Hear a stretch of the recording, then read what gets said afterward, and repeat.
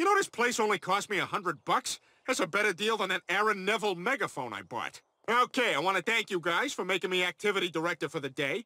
Okay, first of all, can everybody... What the hell? What the hell's wrong with this thing? Uh, okay, uh, we're about to start the sack race.